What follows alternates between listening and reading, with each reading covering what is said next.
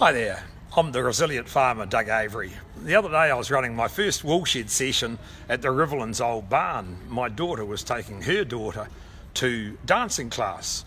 As she passed the old barn, she said to uh, her mother, There's Nana's car.